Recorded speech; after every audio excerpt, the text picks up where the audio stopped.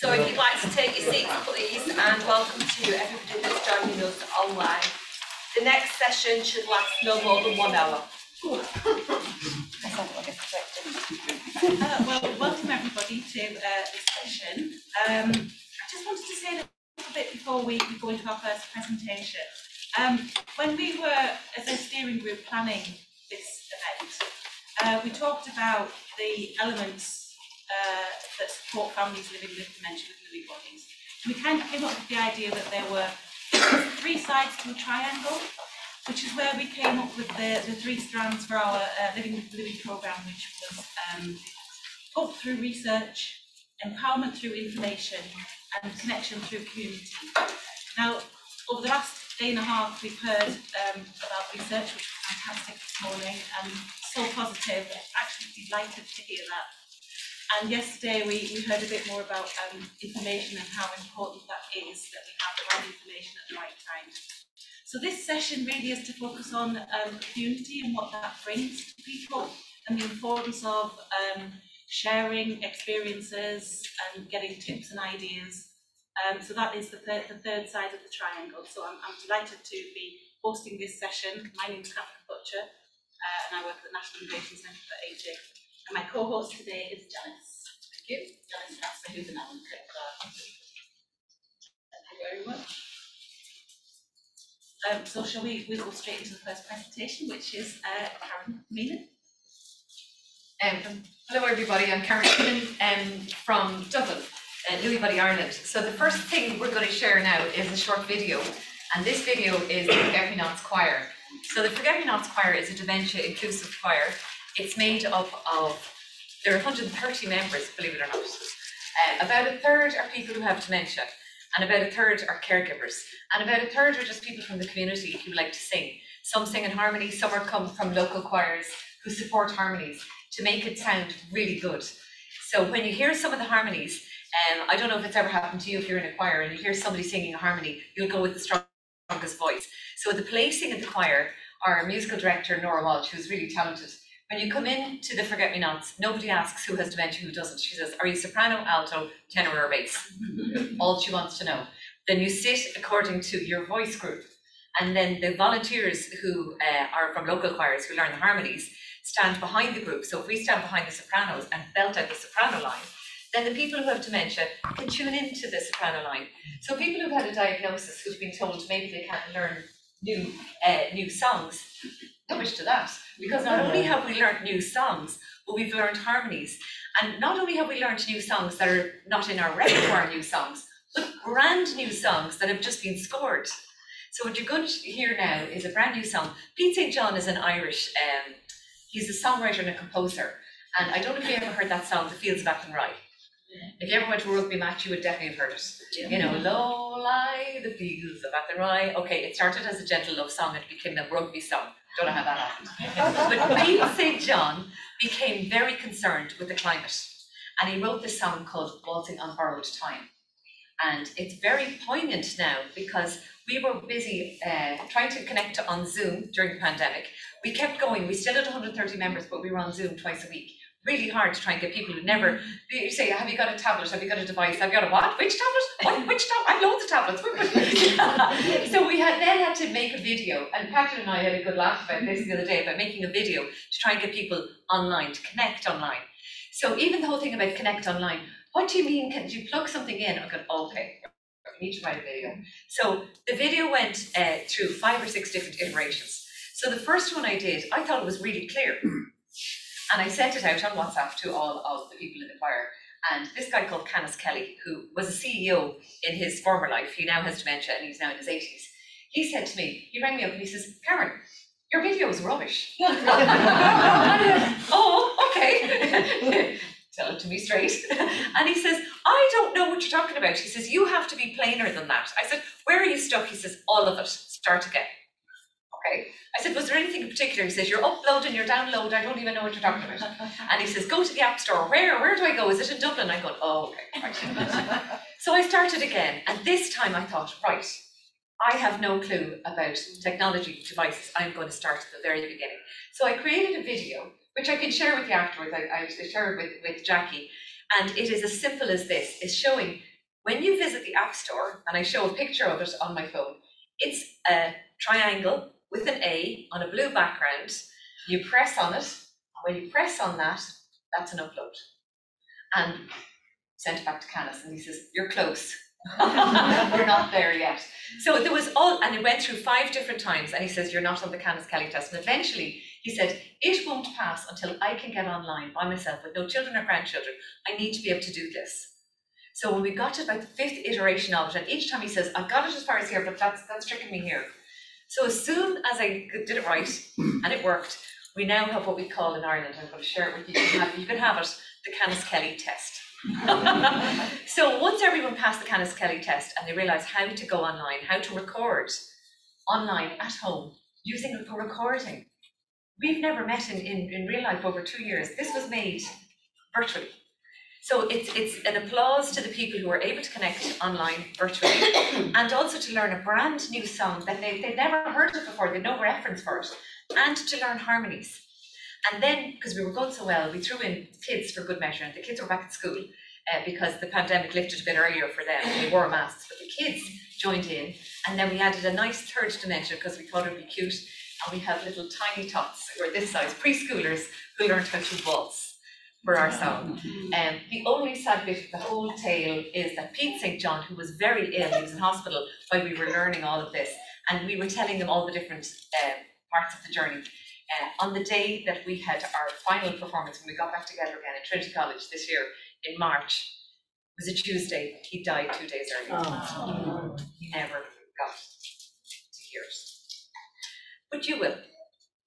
So you're going to hear it now. It's called Waltzing on Borrowed Time and it is the composition of Pete St. John, and it is the Forget Me Nots with the girls from St. Bridget's School and the little tiny tots from Mose Montessori.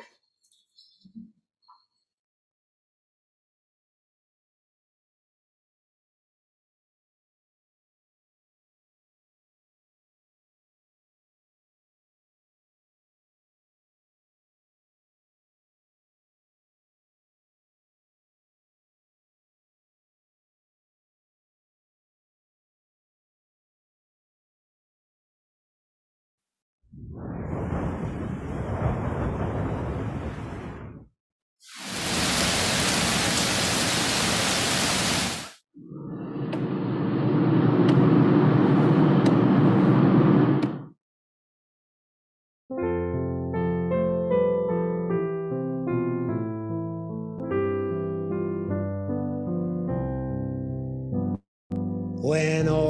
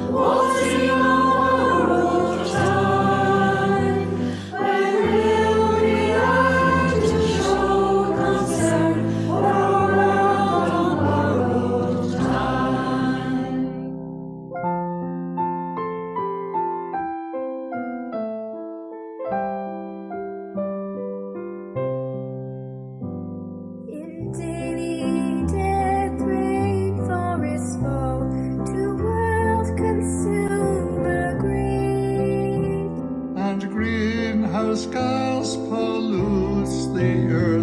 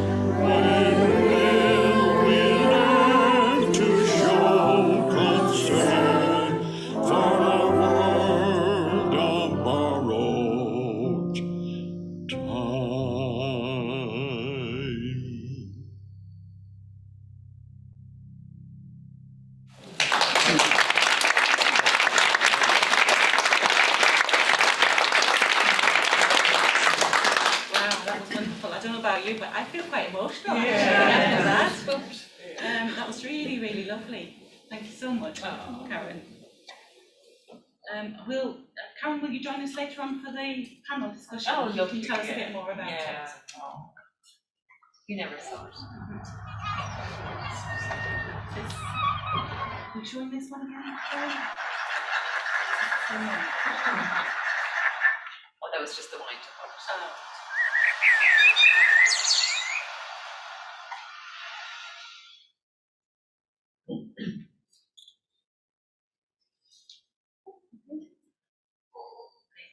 Thank you very much.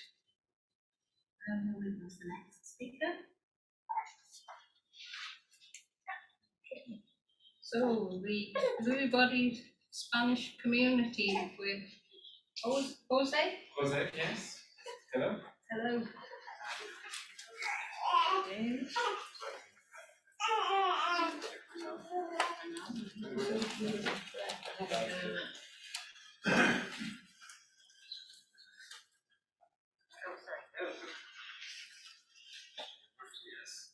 Hi, good afternoon, everyone. Um, I mean, I don't know what to say after this.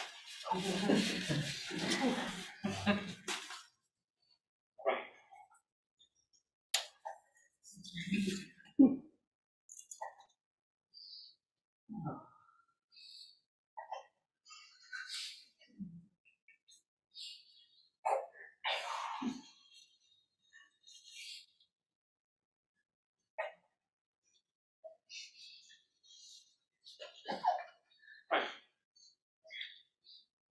That affected me the same way. So, good afternoon, everyone. Um, my name is Jose Gigante. Um,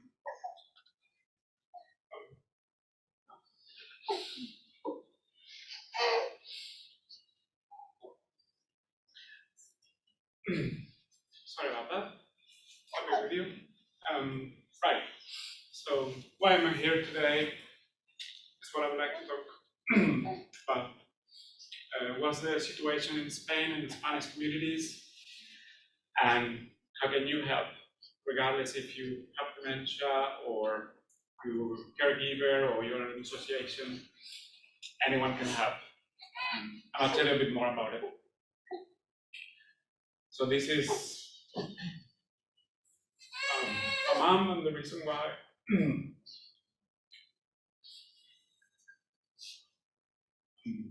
I'm just a bit emotional today. Um, she was diagnosed in 2020 uh, when she was 69 years old.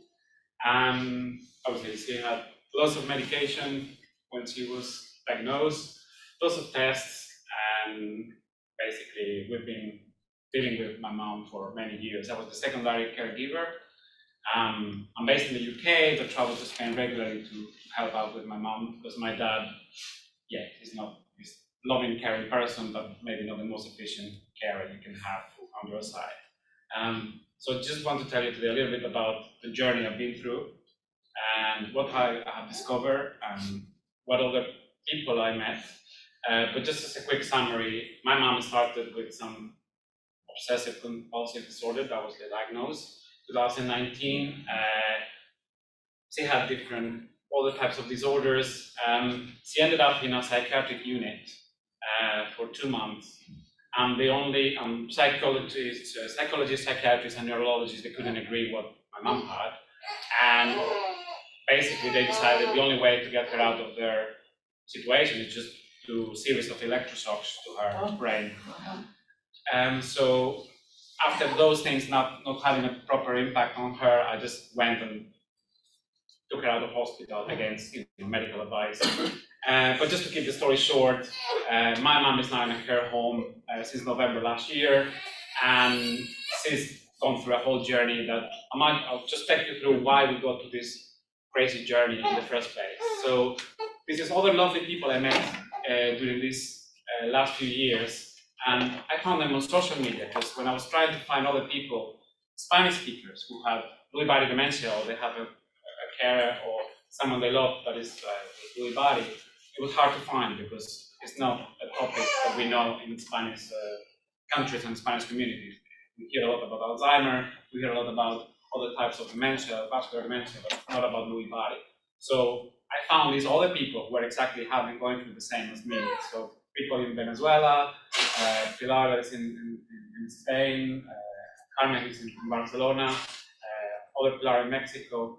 Again, this is just pictures of the things we, we share on this WhatsApp group but it has become like a support network for them. So when they have a quick question, they just go and put a message on. So just to give you an idea, what's the situation, for example, in my country? Um, I don't have enough time to tell you about other countries, so I'm just going to go to talk about my country and just quickly compare with, with another country called Mexico. So the main reason we have big challenge in my country is the three-tier political system. Basically, the whole administration for 17 regions. So if you can imagine, like my mom, she went to three different hospitals in three different regions. So they didn't have the history. They didn't know what was going on. They had no clue. My mom ended up not being diagnosed until we took her into the private sector to, to get a diagnosis.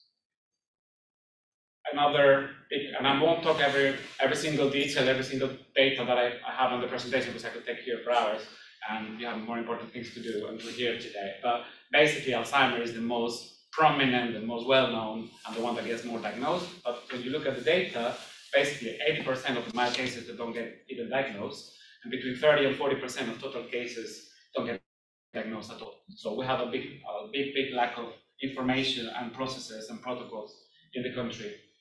And this obviously prevents early access to treatments, uh, the control of behavioral uh, disorders, and also the right medication. So if I show you the list of and the amounts my mom had in terms of medication, you get like, wow, this is crazy, but you know, could be either. Uh, but it's not all bad news. So this is Spain, and I just put it in a few dots. This is the, the cities where the institutions who are leading on Lewy body dementia are. And you'll see that many big cities, peripheral cities, uh, great organic, uh, great institutions, so 102 academic papers specific on Lewy body, so there's some hope uh, on Lewy body. Uh, it's just, they seem to be all very doing their own thing in their own side of, of the country. We also have a specialized brain memory units, and I didn't realize that when I started meeting people and I asked them where you're from, it tends to be again people who come from these regions where there's more access to specific units or specific institutions who have the knowledge or, or they know about Lewy body. Again, big good news is it's all the private and public uh, either specialized units, medical units, or uh, regional associations like Alzheimer's associations who they say they look after other type of dementias, but in, in reality they don't know about Lewy body, so they don't deal with it. So summarizing, in Spain, these are quite big opportunities. Uh, the problem is nobody's kind of bringing all together with a with a certain uh, strategy and trying to improve what we are suffering and many other people with, with carers or, or I mean having. um, recently, last year, this is a, a visual artist called Alejandra Morales. Her mom passed away with Lewy body, and she was uh, she's an award-winning uh, artist. We wanted to have her here uh, today with us and doing a visual uh, for everyone, but COVID logistics budgets, we couldn't make it happen. But again, it was the first time I heard in Spain something on the main television about Lewy body. Uh, unfortunately, we don't have Robin Williams in Spain or someone that is well known that can raise awareness. What is happening as well is traditional hospitals are becoming less and less prominent and the private sector is booming. Uh, so if you want to get diagnosed, like in the case of my mom, you need to have, they say 50,000 euros at least to get all the testing done so then they know it's Lewy body. In our case, we were lucky that after years of not getting anywhere with the public sector, I ended up going to a private clinic thanks that we could afford. And after putting my mom in, in this machine, I'm sure you're all aware with uh, similar machines, and her standing up with all the medication because she wouldn't she wouldn't fall asleep on the test, then uh, I was lucky enough that uh, someone called Teresa Navarro, neurologist, as soon as he saw my mom in this clinic, said, sorry to tell you, but um, this is what your mom has. Because we have loads of them on our clinic in, in Madrid. Another challenge we have in Spain is the shortages of uh, care homes. so again, the, the country, the culture is you look after your family at home, everyone stays at home if you can. Unfortunately, that is very difficult, especially like my dad is the only uh, first caregiver that my dad had, Amon had. So again, we have added problems to, to this. And just to summarize, this is the kind of key challenges in Spain. It's a silent epidemic, just Alzheimer, Lewy body dementia. Nobody knows, uh, nobody, you don't hear about it.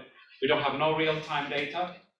Um, we know with the only data we have that there is an exponential growth in Alzheimer's and other dementias. And I have some data on the slides that you can look even on the small footprint there. And the social and healthcare is in crisis, absolutely in crisis. And yeah, I don't want to go into too much details, but I think we can help. Everyone can help. I don't have a lot of time to tell you about other countries, but when I started looking at other countries, this is just an example of uh, Mexico in, in green here. And unfortunately, when you look at the, how many academic papers on Lewy body have been published in the last 10 years, there were only two. And two from two institutions, one in Monterrey, one in Mexico, DC, uh, Mexico City. So again, they're a bit behind already on the uh, research side. And if you look at the Mexico context, uh, obviously low diagnosis, uh, growing uh, dementia types slowly, uh, population is aging, uh, Lewy body um, is being reported very, very small, but basically they don't test for it. They don't think it's important in their country after they did a study in 2007. And basically they need to do more research because they're an aging population like a Spanish one. Um, so what have I done since my mom started having a Lewy body, apart from being a father? Um, uh, I started my own blog because uh, I realized that people in my situation, they couldn't read academic papers in English, they couldn't read guides and helpful information out there in English. Uh, so I did, I created a blog and slowly I'm publishing articles and news about associations like the ones we have here today, any research that is being done in Spain, or anything else that, I, uh, that we're doing uh, to move in, in Spain. Uh, as well as the website and the, the, blog, I've been helping some associations here to have some documents translated into Spanish. Again, not because you live in France or you live in the UK, you need to be English speaker, or French speaker. There's a lot of people in New York, in other cities that they don't speak English or they don't speak French. So having in your associations information in other languages helps uh, reach much more, many, many more people. And here on the left is just a, an image of uh, just a, uh, a, newsletter that I sent out, basically thanks to Norma who's in the room and you, you'll meet later on. Uh, she was so kind that basically after six months of me chasing uh, the biggest care home uh, corporation in the, in the country, I managed to convince them that I was going to give a free webinar to the key personnel in the care home where my mom is. So Norma, uh, very um, generous, she woke up very early in, in Mexico time to be able to, to deliver the presentation, and I did the simultaneous translation. And immediately the feedback was great from the personnel on the on the on the care home saying, we have no clue about everything you're telling us today. Thank you very much. And so the result is we're trying to talk to this corporation if we can do this at a bigger scale and to reach more care homes. I could talk for hours, and you might not notice, but um, uh, I just want to, you know, ask you or tell you, you know, how can you help? So I just have a couple of slides where there's a few things that They're quite needed. Uh, so if you think you can help in any way, please get in touch after the presentation. So I just call them next steps, but basically we need funding in Spain because uh, every organization, every institution is just doing their own their own thing, not really working together as an association or with any strategy. Uh, there's no trials, uh, so you have to come to the UK if you want to have a trial. Even simple things like a 24 hours hotline. Any country is, has already a hotline and wants to have a Spanish speaker in the hotline to also deal with the Spanish speakers uh, that they're calling in, you'll get loads of calls, I can tell you, straight away. So again, there's simple ways which you can help the Spanish community. And online training, of course, to, to carers and family. Uh, there's nothing in Spanish, so there's no courses out there. There's no books. There's nothing. Uh, even the book we saw before about Louis a simple way. There's nothing. So please uh, get involved if you can. And the last but not least, uh, this is more technical. Uh, so basically, the summary is we need to improve the, the diagnosis uh, we need to have protocols. There's no protocols in the 17 regions in Spain about Lewy body. So you, you end up like myself in a hospital where people just say it's your, it's your patient, no, it's your patient. Uh, well, it's not working, let's put it in psychiatric unit. And then we need to create a map so we know where people are, uh, what help can be done by the local institutions. And then we have uh, to improve uh, how we collect those data and as well as working together, hopefully, with other organizations around the world that can help create something in Spain, or at least start working with existing associations of Alzheimer's associations, etc. We already operate in the country. So that's me from for today, and that's uh, Gabriela saying that's enough, and that's just my mom. So thank you so much, and thank you from her.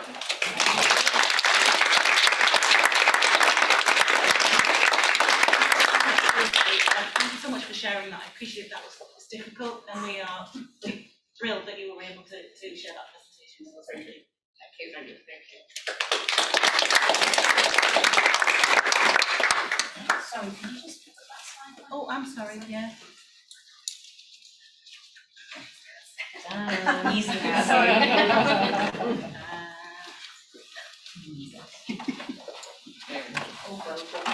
did it. She did.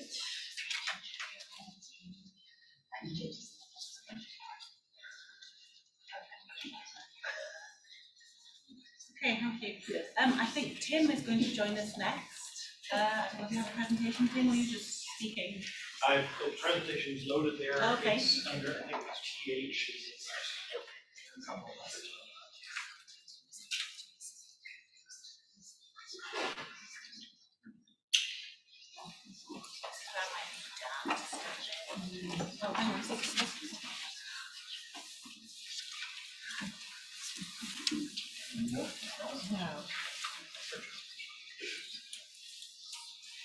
a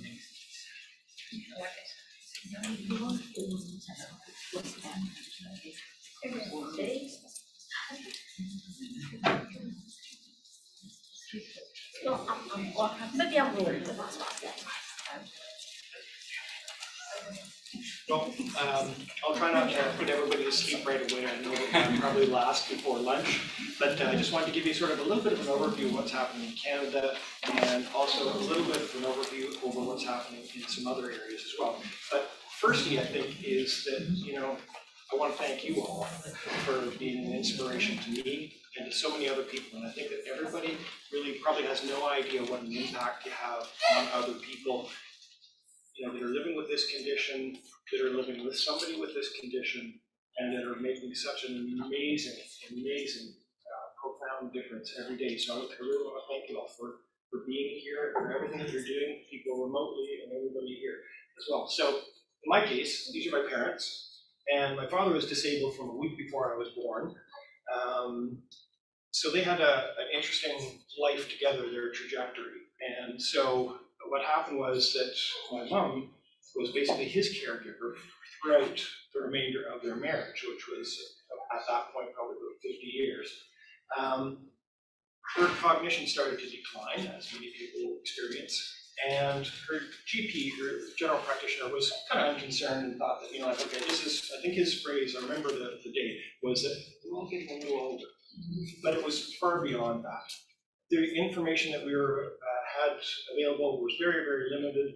And weirdly enough, my father was so uh, specific about this, he found that there was a Cleveland clinic in Canada, and as most people know, Cleveland is not in Canada. But they had this private clinic, and so got her into a, uh, a program there, which basically was two days of full rigorous testing on every aspect of cognition and uh, physical aspects, and basically most of it was used for people who are CEOs, where if in a public traded company, they want to make sure that if they're hiring somebody in at a senior level, that they are going to be able to perform that duty. So they suggested that she had a condition that might lead towards the dementia.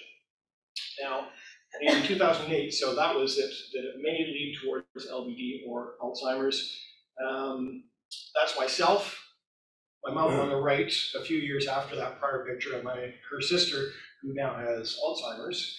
Um, and in 2016, my mother died of complications from silent pneumonia, and that, as uh, some of the doctors were talking about earlier on, to me, that's the number one thing, is that we had no idea. And so silent pneumonia, which I'd never heard of before, was full-on pneumonia that was not presenting with any symptoms. I walked with her, uh, she was using a walker, as you see in the picture, but anyway, I walked with her two days before she died, for forty-five minutes in the park, you know, I was holding on to her the whole time, still, like, so that these things can happen that quickly. So, um, I think a lot of people probably have experienced this, as diagnosed and adios, right? And we'll see you in six months, have a nice day, you have this condition, right? And we experienced that, um, I think a lot of people do.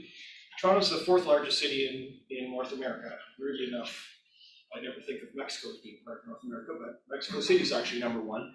But the resources are still extremely limited. Um, national health care is provided much like the NHS here, but at the same time, it's, the demands for dementia care and resources are extremely limited um, definitely underserved. Uh, and, you know, to my mind, the greatest needs are for those people who are living with the condition right now. I love the idea of research. I like to see where this is going. I have the hope for the future, but people are suffering right this minute. And I think the biggest impacts that can be made is in care, information, advocacy, and education. And so I'm hoping that that's going to be happening even that much more now. At the time, uh, the resources that we had in, available in Canada were pretty limited. Um, the Whitworth book, uh, Lewy Body Dementia, that was sort of my Bible initially. Teepa Snow's videos on Lewy Body Dementia were fantastic, but they're hard to find, they're hard to get. The DVDs were expensive, internet was somewhat limited. There was few and limited uh, web resources available at the time. The Alzheimer's Society was the only thing that had anything to do with Lewy body in Canada. Um, we had local community groups, but you know, that's only for urban Canada. I think that's probably the case everywhere. So in Toronto, there was a support group, an in-person support group that I went to with the Alzheimer's Society, but there's a long wait list. They're few, far between. Um, they're hard to get, somebody to get to. Um, and there was wait lists, so I waited probably at least eight months and was very active in my advocacy. Um, the online resources at that time, Yahoo groups were really important at that time. So that I think probably the most important one I recall was caring spouses, but it was limited to spouses. So that didn't really get the whole whole piece. Facebook groups were starting to build up in popularity and use at that time. Um, and the beauty of Facebook is the ability to discuss link other components and elements and information. Um, and the fact that they're twenty-four seven available and that they're international, so that, you know, if you have a crisis, it doesn't necessarily happen between nine and five, Monday through Friday. So the fact that these people were online all the time was amazing. Um, my background was in strategic communications, so I worked at the third largest university in Canada, and uh, our mandate really was around knowledge mobilization was the catchphrase at the time. Basically, that was making the research findings of the whole range, and my, my area dealt with everything from accounting to women and gender studies. So the research would come out and it would quite often be fairly obscure. Um, so what we really tried to do is translate that into something that would be meaningful and understandable to a broader range of people. So um, I joined these Facebook groups, and in in twenty fifteen, there was a few thousand members at the time in the two biggest ones that I joined, I joined with four, I think. Um, after a period of time, because I was so active and probably never shut up, um, I was invited to co-administer the two largest groups, and now there's over twenty-one thousand people in the two groups that I co-administer, and it's it's profound how much of a difference that makes to the members. One is a combined group of people who are living with the condition and their carers. The other one is primarily geared towards carers. Uh, but you know, twenty-one thousand people is pretty amazing. Um, you know, the interactions are incredible, and so what I started to do back then was learn about Lewy Tuesday posts, and that would be basically some of those bits of research that would become available. They would not be translated into a form like some of the stuff that we saw this morning. I, you know, I, I've been dealing with this for years and it's still, I can't take it in quickly enough. So, you know, I translate some of this stuff. I plan and schedule posts uh, at specific times of the year, for example, in North America. I don't know if you have that here as daylight savings time. And so we have an hour shift twice a year. You lose an hour in the fall and gain an hour in the spring. Anyway, changing your schedule by an hour is very significant if you have any health issues. The number of heart attacks that happen at that period, both gaining the hour and losing the hour is, is, is very significant. So I told people like, just change your clocks gradually, you don't need to do it all an hour at a time. Um, I'm not doing active uh, creation on Instagram or YouTube, other people are doing some great stuff. Also created the lewybodydementia.ca website or lewy.ca. Um, the goal behind that was to make it simple, printable, and in multiple languages. And as Jose was saying, you know, like there's limited resources in most languages, so this has a translation feature. And it's been interesting to see how that's gone because Google Translate has become better and better as time's gone on. But it's not searchable in those other languages, you have to search to find it in this language. Um, the content was based on the most common problems that were uh, uh, that I saw on the Facebook group, so I geared everything specifically towards that. Um, the, it's, it's social media and search engine optimized so that there's graphics for each component, so that when people are posting, they'll get the content. Um, hopefully, there's minimal duplication, because there is such amazing content available. I don't wanna restate something that's already much better said. Um, did podcasting in twenty sixteen, um, and that was really geared towards making so that people who couldn't sit down, read, spend the time, would be able to get the content um, in a different format. Um, I've not continued that. It's fairly time consuming, other people have taken up the baton and are doing it, I think, even much better than myself. I started also doing about four years ago summarization of research findings, news, developments, and posted that on uh, Facebook. It's not a group exactly. Um, so it would be a link to the source document as well as some sort of summary so that you didn't necessarily need to go and read the whole piece because a lot of times it was just too complicated. So that has been an ongoing thing. So, you know, things like the, the questions that I think people had today, you know, about genetics, that's a really big one because so many people worry, am I going to be getting this, you know, and the, the GBA genetics and so forth are content. I curate the content so it's all applicable, searchable, um, and it really needs to be simplified as much as possible. And upcoming, I'm going to be transferring all the content that I put on Facebook over to my website because the Facebook is not, it, it has its own idea of what it wants to give you. And I'd like the stuff to be available and more easily searchable and to have the content available so that if somebody's looking for something on genetics, they're not going to get one thing about genetics and then another thing about cosmetics, which I've seen in searches from Facebook, because it's, it's mandated to advertise, right? So um, I want them to be optimized for this pur- purpose, and also a lot of times as time goes on, there become dead links so that uh, the information is no longer available, even if it is somewhere. So be making PDFs of the content as well. Limitations for me is I'm not a charity or a foundation or anything, I'm a one-man show. So inevitably you get uh, limits on resources and availability of things and impact. Um, but the time I haven't spent on those other elements, like the fiduciary components of being a full association, I've dedicated to this. Um, I was the inaugural elected ch- ch- co-chair of the Body Dementia Association's Living with Lewy Advisory Council. And to see how much time went into that without it actually getting where it needed to go was also illustrative. But still, um, things go on. And so I'm pretty optimistic about the future. Today was really lovely in terms of the presentations that happened. You know, the people really have a lot to, uh, there, there's something to look forward to. I think the biggest thing for me is actually the Lewy Body International piece. And the, the fact that, you know, like I've met a whole bunch of people here today that I've never met before from multiple locations. Even yesterday, somebody was gonna be forming a, a group in Israel, um, as well as people who are presenting here today. And that, that I see as really being a bright future because the information should be available absolutely everywhere. And it's getting better all the time. I think there's better cooperation. Technology is making resources more accessible and easily available. And I think that, that unity of goal is really gonna create the momentum. But, um, I wanna thank you for your inspiration and everything that you're doing every day. I think, you know, you, you really have to remind yourself what a difference you make, whether you're living with the condition making the best of it, whether you're caring for somebody, whether you're caring for somebody, whether you're researching it. You know, that, that makes a, a big difference, and I think, you know, you should be proud of it. and it's something that's unique. So, Thank you for your time.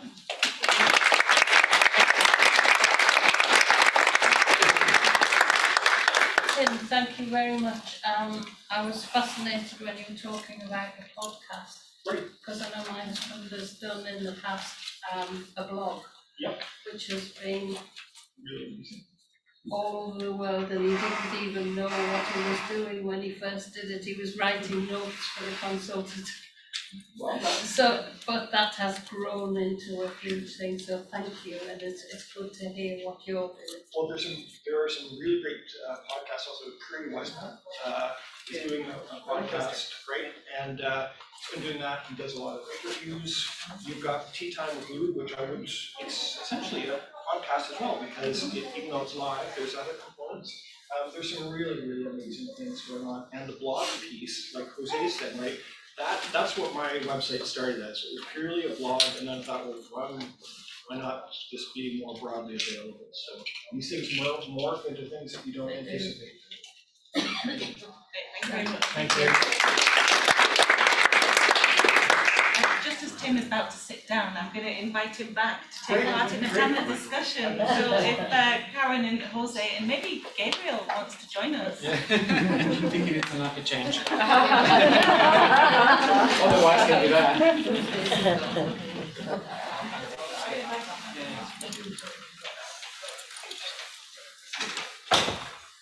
It's been a long time since I've sat in a high chair. I know, it's over.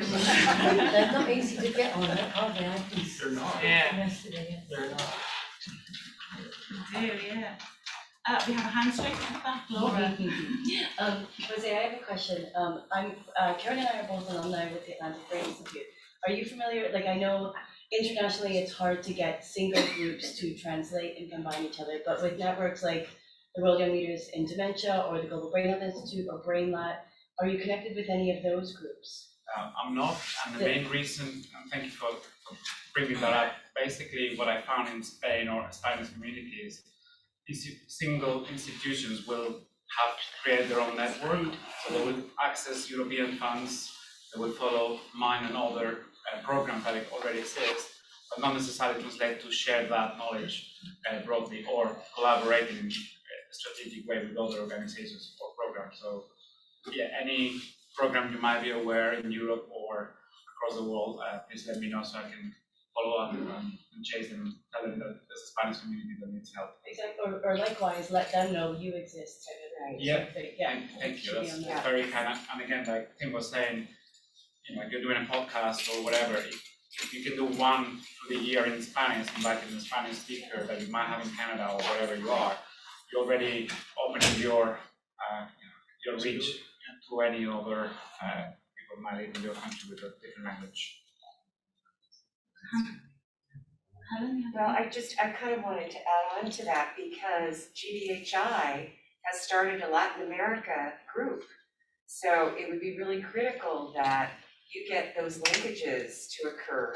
I work with the University of California, San Francisco, and their ability to, you know, get out into the Spanish-speaking neighborhoods and kind of expand that.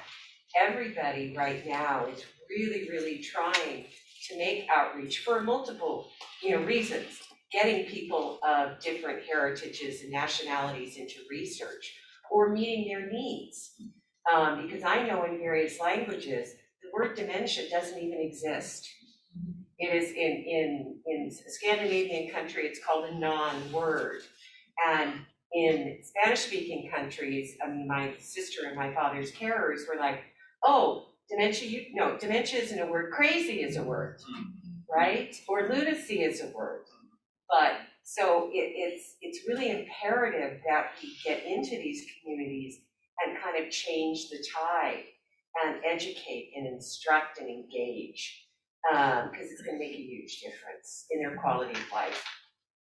That's a very good point uh, that you mentioned that when I first thought about Spain, I thought, okay, well, I need to start creating a charity that's gonna help people here locally in Spain. But as soon as I went online, like most multiple social media networks, you realize you can be helping remotely any Spanish speaker anywhere in the world pretty much. So it's great to do something locally, but you could be helping other local organizations or charities anywhere in the world, just by having information in the language. Yeah, there's a lot of work being done. Um, I'm um, an Atlantic Fellow as well, the Global Brain Health Institute, but I'm from Trinity College. And um, in Trinity College, we have an Argentinian there at the moment um, who has founded this BrainLat. And there are a number of people already working in Argentina and all around Brazil. And, you know, I know the Portuguese, but, you know, have Spanish as a second language, where English isn't as accessible to them. But I can certainly connect you with all of those people. There's so much work being done. But this is the whole point of this conference, I think, is that there's lots of good stuff being done. But they're in little villages and little towns everywhere. And I think what we need is something like where we are right now, is to, to unify all of this, to start sharing information. And I think this, thank God, we're back in, in person again, because I think an awful lot of these conversations happen in panel groups and cups of coffee. Because, you know, when you're online for two years, all you're doing is you're getting a presentation and a presentation, and then boom, that's gone. You're on the, you don't get this opportunity. So we're very lucky to be here today. And thank you to Jackie and all the organisers who've done this and allowed us, and also allowed us the space to have those coffee moments and the lunch times when you can say, I know somebody who's, you know, going to be able to work with you on that. I think that is the real power of being somewhere like this, but certainly I can connect it. And the question time, just, you know, for, for whoever do it, the program, I think it was probably Jackie as well. The question time, I think sometimes is just as important as the presentations. Your voices are the most important in the room. And as far as the, uh, you know, if people are looking for other avenues for getting, you know, specifically for different either geographic locations and or uh, languages, I think the social media thing, if you just post, because I know monitoring and administering these groups, people regularly will say, I live in Jersey City. Is there anybody there that has this? You know, if you were to post something saying like, okay, anybody who's Spanish speaking or is in Spain or wherever, you probably will get, and it's not gonna be millions of people, but those people are often connected to other people. So again, like that's, that's a big, you know, as much as social media is probably a nasty thing, it's also fantastically powerful for those purposes. I think social media is a great thing, though, and what you said really meant a lot to me, because here I it's like I can get out today, but but to me, it's also, said thank you, because sometimes it's being off my PhD, being off my nursing career. Um, and saying thank you like that, because, because you're sometimes low behind closed doors, and it's great hearing a bit of language, thing, something to go on social media and that too, but when you were talking as well, I was thinking Johnny Logan and Dana, the great singers. Yeah, yeah, I really miss, but but also, um, when I gave up my nursing career, I did get some work working one-to-one, because as a nurse, for two bit of medication and things, I got an amazing job with two people, but one man, with advanced Alzheimer's, would taught me and taught him, and we used to go for it, and I can't actually sing unfortunately, but um, I don't know why, but I can't. We used to walk around the care home for ages, singing, and they used to say, oh, you're a great singer, oh, thank you, but the care staff didn't really like that, but it was absolutely great for him, and for him, he liked to listen to Channel Five and the classics as well. So Yeah. music is so important. And Yeah. luckily, I'd been in, in amateur dramatics and things like that, so I didn't know. Sometimes I couldn't remember them all, but we would sing them all yeah. along with Tipper really. Yeah. Another, just about another time I was in uh, a nursing job, I was training, and I was in a behavioural unit, so I helped people with secondary, and I saw the same man there, and he was in a bit of a state. And I thought, but when you're learning, you, you don't have time, I grabbed him at one point and sang a song Tipperary and grabbed his arm, took opportunity, I don't sense like whatever. And his wife came in and she said, oh my God, he was suicidal yesterday, now he's singing his Long Tipperary. And, and, you know, sometimes I think we do miss a point, and this is a really great opportunity for me to, to reach out to, to other people, I haven't really thought about that at other times, just because you tend to think, we don't think, you're just so tied up in fear and your own dramas and Yeah. things, that I think that's great for me to know that, really, and, Just transform. Yeah. yeah. And everyone here could talk to the local care home or Yeah. community hub and just say, you know, do you have someone with this kind of symptoms? Could we come and give a talk or could we come and help in any way? And you probably will find people who might have any spectrum within the body and able to help. The, the choir was created by, um, I'm not sure if I, I shared this enough, but my sister uh, set up the choir, Orla, uh, for our mother. My mum had Alzheimer's disease. And so my mum had been a very sociable woman and um, we had parties, a lot of parties in our house when we were small kids. My dad was a really gregarious guy and he just loved a big party. Uh, no televisions, no cars, we had no money, but there was always a party in our house. And my dad died very suddenly um, when he was 54 and my mother became a widow with five children at that stage and the party stopped and our house just became a little silent for, for a long time and then over time we all grew up got married had kids. And then when the first grandchild came along there was just joy back in the house. There was laughter. There was a bit of crack going on. And then you know over time the laughter came the fun came again. But we discovered that mum then when she got dementia the joy went out again. And we thought oh not again. Because the last time had been very dark.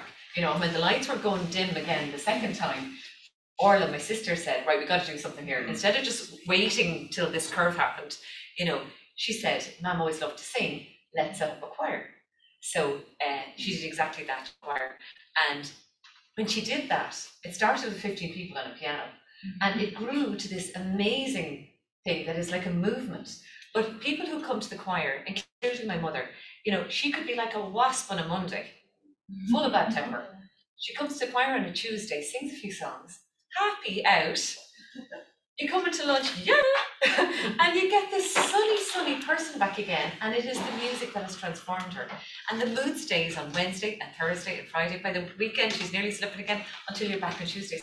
So, you know, to try and punctuate a week, if if your your loved ones are in care homes, even if they can introduce music just once a week, to just monitor and see how the mood levels flow by introducing something really simple like that. And what you did was instinctive, singing Long Way to Tipperary. You saw that that man needed something in his, you know, and a simple song or a chat or putting on some music or connecting in some way, that does the trick. It doesn't have to be an elaborate choir, small things work as well. Babies are also. Babies are brilliant. Yes. And small kids, when you introduce small kids into a nursing home, and when we were doing that video, you know, the most popular people in that entire video were the little tots learning how to walk, because people love kids. You know, we were all one once. Yes. Yeah. yeah. But yeah, we, we need more people to go and talk to care homes and just so they think differently. Because they think they need to care for people, not necessarily look after them as they would to anybody else that is part of their family. So if you can, yeah, talk to your care homes and just help them be a family. Okay, can I raise a point with Jose? Um, I had a similar issue with care homes with my father. He, um, he has body dementia. Sorry, he's passed on uh, now, but um, finding a care home placement uh, proved to be so, so difficult because the formulation that they kept creating for his care plan always just highlights the challenging behaviour, but he fluctuated. He had far fewer challenging times than good times. However, the formulation would always create those as the major things, and the care homes then would either say, we can't meet his needs, or um, we'll have to put him into some sort of secure place. When we did finally find a placement, they hadn't a clue about lewy body dementia. And we then, my sister and I started um, talking to care homes about, excuse me, the level of training, and I think this is one of the issues. Um, the level of training, even in the, the um, higher end of uh, dementia care homes, is so low. It's NVQ level two, 10 hours online, two hours face to face, and then that's it. They're let loose with your loved one. Um, and also the pay. They are not paying them what they deserve for such an important job. Um, we had a little bit of success with um, Akari care homes where, as a result of our case, because they have police on speed dial, um, the care homes, the ones that we um, had experience with, they just called the police if somebody became challenging because they didn't have de-escalation training or any um, distraction training or anything like that. Um, Akari care homes are the only ones that have actually created a specific role uh, for their care homes in the UK to try and roll out that training. However, they're so far behind. I think anybody in a situation like my family with somebody with Lewy body dementia needing a care home place is still going to find it difficult in Yeah. getting um, their needs met in a care home facility. Um, I'd welcome talking to you after this uh, conference to see how perhaps we can um, talk about not just Spain but the UK and getting this training sort of rolled out for de-escalation when it comes to challenging behaviour. They had talked to me when I was old and said that they did, was a person that in for a cup. I was one to one, I wasn't like, because I did my job, I didn't have all the residents as well, help you know, because that, that was like my job there. But I would see people reporting to the police if they did something. So you get to that age, you've got dementia, you've got, a- well, not only act, number to court, you've got a criminal record.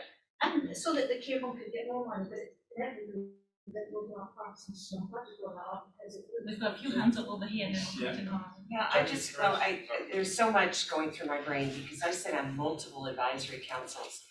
But I have a connection in the US. A woman has developed in the state of West Virginia, uh, dementia awareness pra- uh, training for first responders. And she is going to be going global here very, very soon. It is now mandated in the state of West Virginia that every first responder have this training. It is, it is absolutely essential, and that's only happened in the first few years, uh, last few years. But in, in the United States, it's every municipality has to come up with their own plan. Can you imagine that? You know, um, I have, I have a, a community, it's called In Response, and it just started in, um, just, you know, four months ago, where what they're doing for, to re, to react to drug drug-induced problems or homeless issues or mental health is calls come in through dis- dispatch centers and the dispatcher kind of assesses what's going on. And then they can say, we're calling in response, and that will put paramedics along with mental health professionals on the street. So I contacted the chief of police and said, well, wait a minute, what about dementia? What about the response to people like my population who have profound neuropsychiatric symptoms? We're an afterthought. We're much further down the road. But it, again, it's educating the professionals around all of it. We have to become somewhat civically engaged and say, all right, this is an unmet need in our community. And even if it's just, here's a national association or an international association, what can they bring to bear to help educate these people? Because we can't have, especially in the US, people coming into a, what they consider a mental health crisis. And of course, our problems with guns in the US. Um, and you, let's say you have a rancher or someone that has guns in his home, and you have a flotilla of police coming in armed, that's not gonna end well. So it really does behoove us to inform our first respond, responder community as to what our disease particularly is about and how they should be responding. We have to be advocates, every single one of us. Jackie, I know, Jackie. Hello Jackie. from me. Yeah. And then So, so, I'm going to come and stand at the front. Um, I'd just like to reply just on behalf of the Lewy Body Society on two points. First on Helen's point about responders.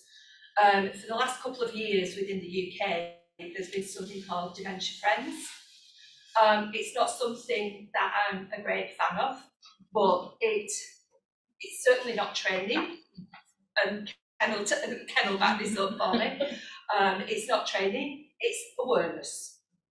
But a lot of areas within the UK, um, especially police forces, um, ambulance service, fire brigades, all the staff have undergone the awareness sessions. Yeah, and, and that's been happening for years. It's lovely. Um, but as I say, I would not deem it training, yeah? Um, secondly, sorry, I don't know your name. Jessica. Jessica, um, to respond about care homes. We take calls on a weekly basis about people who have a relative in care home who are being asked to remove that relative because they have, I should say, inverted commas, challenging behaviour. We find people that are unable to place a relative in a care home because they have challenging. My dad, towards the end of his journey, um, was in care. And there are pockets of good care homes. And there was a gentleman in that care home, and he did get aggressive. But the care home manager went back to the health authority. She got extra funding, and she got a person, one carer, twenty-four seven to be with that man. It was no longer a problem. Because previous to that, they could not get the gentleman in the shower, in the bath, anything. No, and it's because he was frustrated, he was bored, he had no stimulation. The whole dynamics changed. He, he stopped hitting out at people, he stopped getting aggressive. And that was just because they had a fantastic care manager who had to get that. But that is not everybody's story. And because the home manager made it a point to learn about Lewy body dementia, because this gentleman as well had Lewy body dementia. Um, but I have raised this on numerous occasions in the UK with the Care Quality Commission. And the response has been, we can't force care homes I have raised it with a member of our Specialist Advisory Committee, Professor Alistair Burns from Manchester, who is Director for Dementia for NHS England, and about people being unnecessarily sectioned and about people being unnecessarily prescribed antipsychotics. That happened to my father, he Yeah. with an antipsychotic. My uncle was. So, you know, thi- this has got to stop, but I just want to tell you that we are aware of it, we're taking the calls. Um, as part of our evaluation of the Admiral Nurse service, of which you'll hear more this afternoon from the two Rachels, um, we have been seeing an increasing number of calls coming through and requests from care homes Rachel Thompson actually did a session a couple of weeks ago.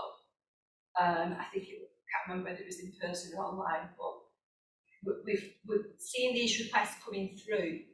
And as part of our specialist advisory committee, we're looking at what our education package should look like and what groups, even looking at Parkinson's nurses. Because it's surprising how many Parkinson's nurses know nothing about dementia. And they are the only nurses that people, some people have access to. Yeah? And there is a definite training need identified there. So that's sorry to kind of hijack, but that's just, that's just to give you um a little update on where we are at and that these things are on our agenda. Norma, Norma, and then Chris. You know what, I'll, I'll add in my comments, um, at the end of my, part of my speaking. Chris? Uh, yeah, I just wanted to say as a person living with Lewy body dementia, and I give lots of talks, And one of the things that Heather and I are involved with is called Time for Dementia. And it was started by Sussex and Brighton Medical School. And it's mandatory part of their training now, that all medical health professionals have to go through this Time for Dementia process.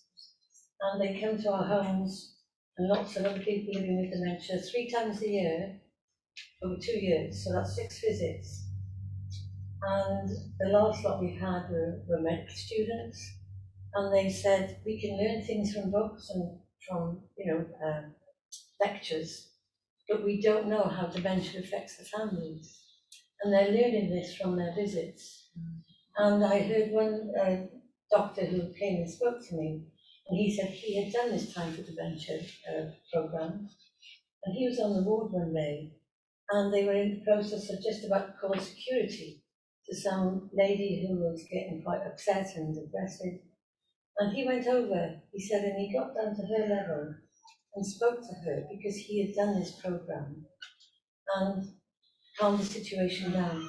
The last thing that lady needed was security or police Yeah. coming and whisking her up. So they're trying to roll this out through many more universities in the UK, and it's starting to work. So that is one thing that is positive that they're doing, and it's working, and we're proud to be a part of it, aren't we? Oh, wonderful. Congratulations.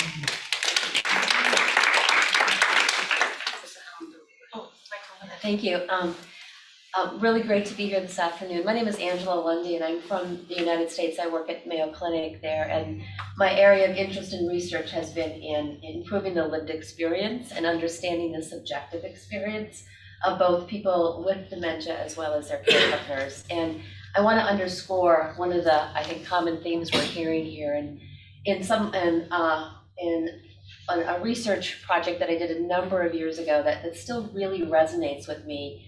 Um, we, I was on a consulting team, and what we were charged with doing was going into, excuse me, I have a bit of a cold here, but was going into care homes and helping staff and families with challenging behaviors, and I know why we put that in quotes, right? Um, I think we all understand that, but we really wanted to get to the root cause um, of why these things were happening. And so we collected data for about 10 years um, on all of these care homes that we visited and consulted in trying to improve um, the situation. And we found that the number one cause of irritability and agitation and aggression, you name it, was boredom. And so we think about, you know, we're, we're taking and the, the consequences that people with dementia have to go through because they're bored and they're they're wanting, we all, you know, we all have a need. It's an emotional need we all have to feel worthy, uh, to feel um, that we can continue to contribute and to feel that our lives have purpose. And when that's not being met, whether we have dementia or don't have dementia, guess what? We get agitated and irritated. And if you imagine the life of somebody with dementia day after day after day, not feeling worthy. I mean, if we were like, we would get agitated uh, and maybe even aggressive. So sometimes I think, you know, we're looking and, and including that in trainings because we think, I think we set, you know, we think that there's some complicated thing that we need to do to improve the lives of people with dementia. Um, and so much of the training in, in care homes is about taking care of physical needs, right? Making sure they get three baths and making sure, you know, all these sort of things get checked. And sometimes we have to do that because we have regulators who ask us to do that. Imagine if we had regulators who came in and one of the standards of good care was how much um, ability we had to get to know our, our, uh, the individuals there so that we could create reasons uh, and, and we could create activities and, and purpose for them. And that's why these choirs work so beautifully as well. The music is one thing, but the sense that they feel they're contributing and belonging, I think, is that magic pill that keeps uh, your mom sustained in her mental well-being uh, day It's after the day. social engagement as well. What we noticed in the choir, um, in the early days when we set it up, um, people arrived on a Tuesday morning. It was from eleven till half twelve, and they'd arrive just on time or maybe a little late. And dark colours, a lot of dark colours. And then over time, we noticed people coming earlier and earlier, and then they were looking for jobs. Will I put out the chairs? Will I do this? Will I take the names? You know, and and the colours were getting lighter, mm-hmm. and the women were getting hairdos and lipstick and heels. And we're going, something's happening here. We are witnessing this is the, it got to the stage when performance. You know, people dress like they're going to a wedding, and the guys are there in suits and ties, and we're going, "You look amazing!" And you go, "What a performance!" You know, but it's that whole thing that you know, and the nursing home managers have noticed that in the care homes where a lot of people were coming from, um, they used to book their hairdo for Friday because they had visitors coming at the weekend. They all asked could they have their hairdo on the Monday because they were going to the choir. Something is happening, and it's not just the singing; it's a phenomenon of singing together. You know, and, and I love what you said about the whole thing about boredom. Wouldn't we be bored stiff if if the only things we had to do all day was have a shower and take a tablet? And nothing else just to, to keep us going, yeah, I mean, that's a no-brainer, that answer there, but it's funny that had to be a study to find it. I know, to show that, right? I know. But it does, yeah. It's usually the obvious things, isn't it? Yeah. Thank you. Um, can't any other hands up. Nothing on the, on there, Chris? I'm gonna have the last word, am I? No. Um, I just think that everyone's talking about sense of purpose. And the number of times that I've given talks, and it's all about the sense of purpose. You know, I had my diagnosis and lost my job in three months. I didn't have any sense of purpose. And until I found that sense of purpose and a reason to get up in the morning, and I used to be the most placid person, and now I get a bit aggravated. It's, it's aggravation and it's um, frustration at myself and things I'm no longer able to do. And I think if you're living with dementia, it's important to look at the things that you can still do and not at the things that you can no longer do. Because it's easy to do the things you can no longer do. It's hard to do the things that you can still do. And the singing and things is brilliant. And I was talking to a, a colleague and he'd been given a talk at a, a care home. And there was a gentleman there who'd stopped eating and stopped drinking. And he sat next to him and he said, I noticed you're not eating and you're not drinking. He said, Why? He said, Because I don't have any money to pay for it. All they did was give him a wallet with some coins in it, and he started eating because he had money to pay for his food. Ah, We're all used to carrying money in oh. handbags and wallets and things. So give that person some normality back that they should never have lost. Sorry, I'll shut up now.